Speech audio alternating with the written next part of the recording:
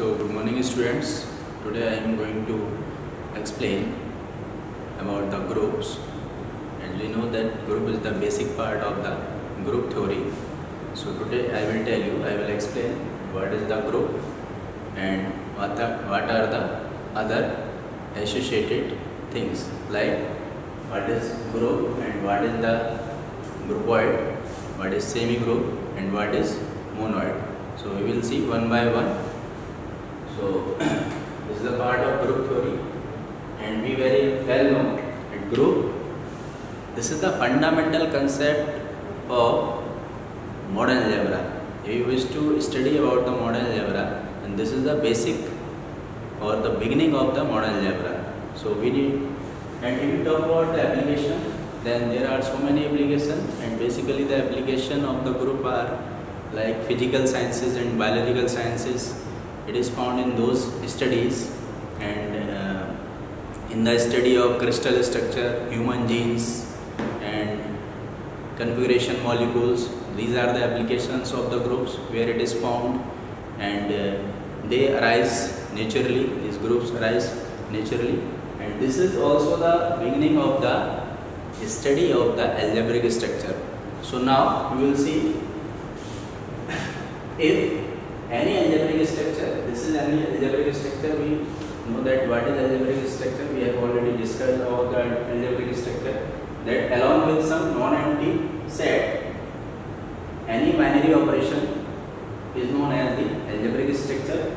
So an algebraic structure is called a group under this particular binary operation. Here we will, we are not generalizing it, we are taking the binary multiplication for the simplicity of the group.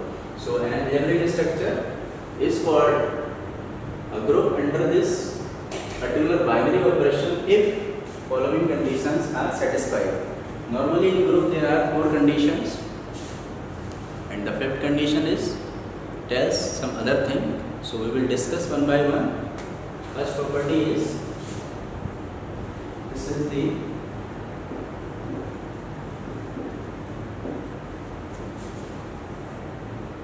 closure property.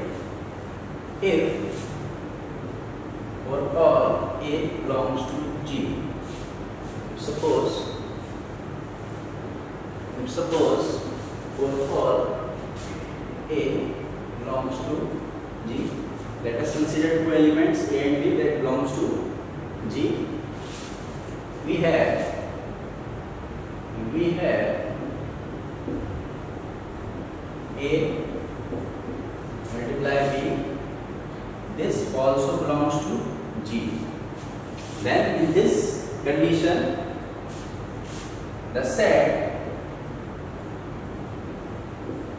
G is said to be closed with respect to the binary operations. This is binary multiplication. So we can say this is this group or this algebraic structure will hold the closure property. This is first property. Now the second property, this is associative property. We are familiar with the associative law. So if this hold the associative law, then we can say so if for all A, comma B, comma C belongs to G, let us consider that three elements A, B and C they belongs to G, then we will have A multiply B multiply C this is equals to A into B into C means this property holds this is the second property and this associated property should be there. If this is existing then we can say that associated property holds. Now the third property third property is identity element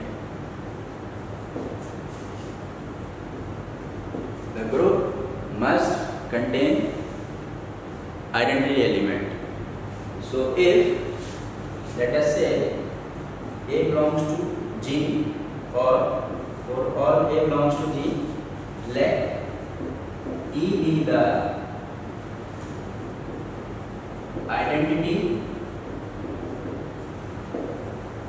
element, then we must have A E equals to A equals to E into E.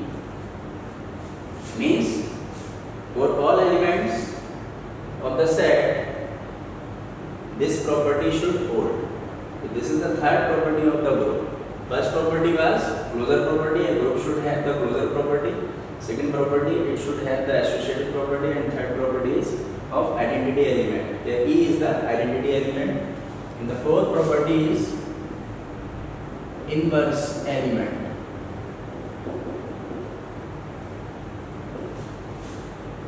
A group should contain inverse element. If it is containing element, then there should be its inverse also. If A belongs to G, then suppose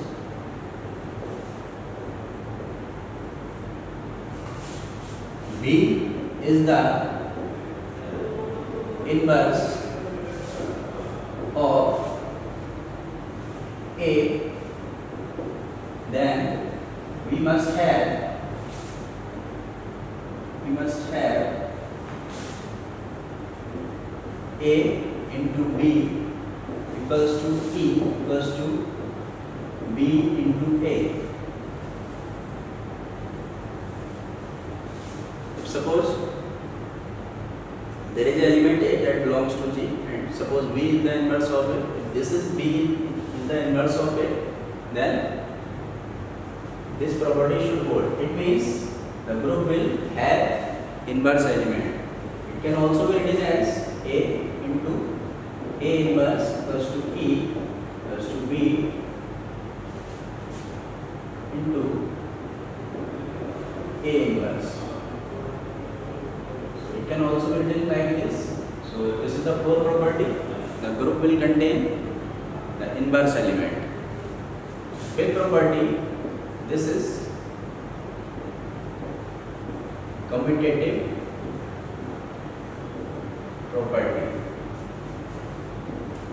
This is very important property. If this property is held by the group, it means that group is a commutative group and normally if a group is commutative it is holding the like binary addition, binary multiplication and that group is known as the abelian group.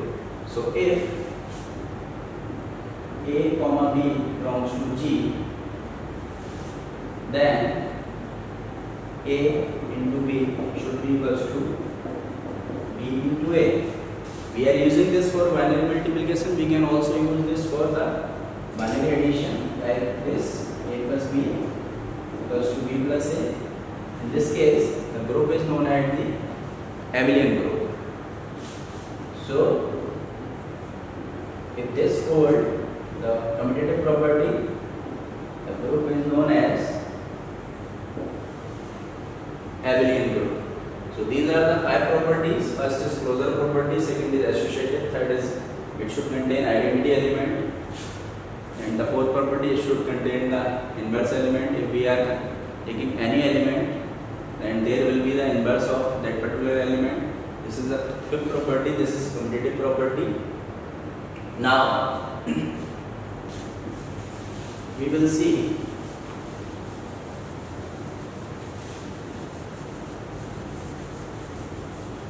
their types they are based on the these five properties first is first is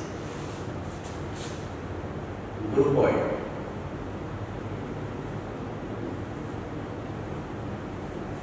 groupoid if an algebraic structure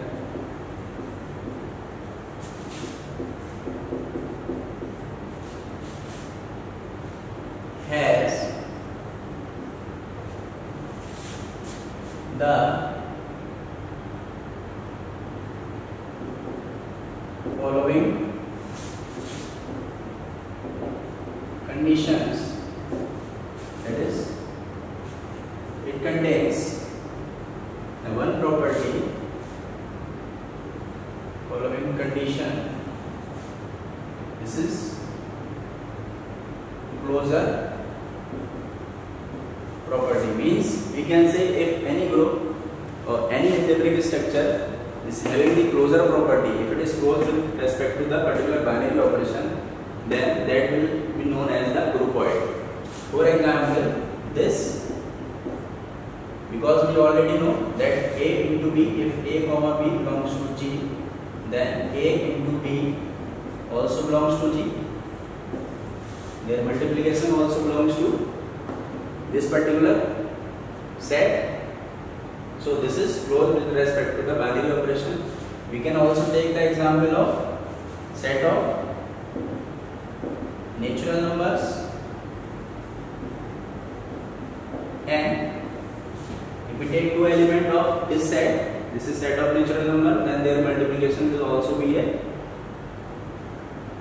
will also belong to this set. In that case, this set of natural numbers will be closed with respect to this binary multiplication.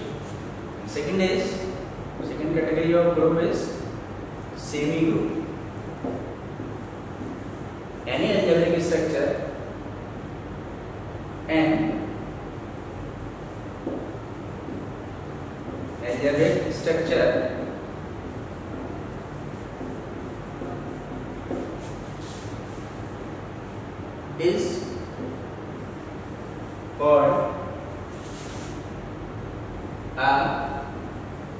semi group if following conditions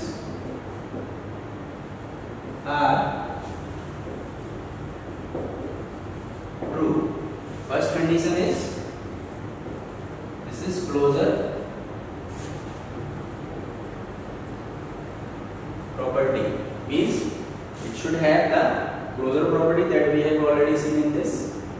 And the second property is associative property. It should have associative property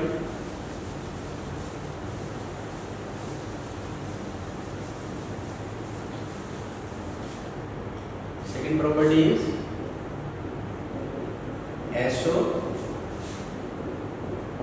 associative property means this will also hold the associative property. We have already seen in the group that if a comma b comma c belongs to g then we will have a into b into c. This is equivalent to a into b into c. If these two properties any algebraic structure is having these two property closer and associated then that algebraic structure is known as semi group third is monoid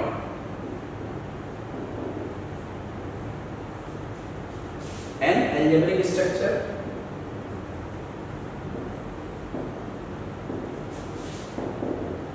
structure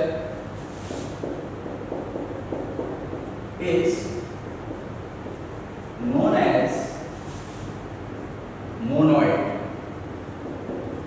if following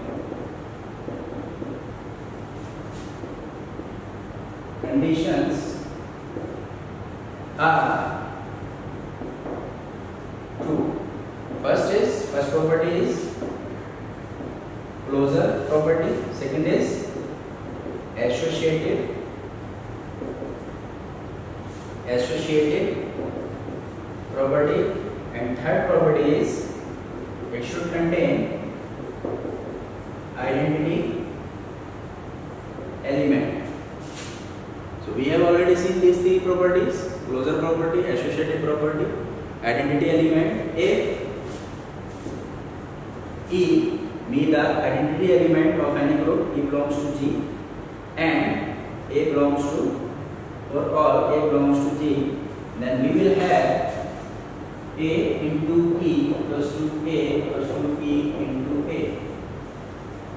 So this is third property. These three properties are held by any algebraic sector and that is known as monoid. Or we can also say that this is a semi group with identity element. In other words, we can say that a monoid is a semi group with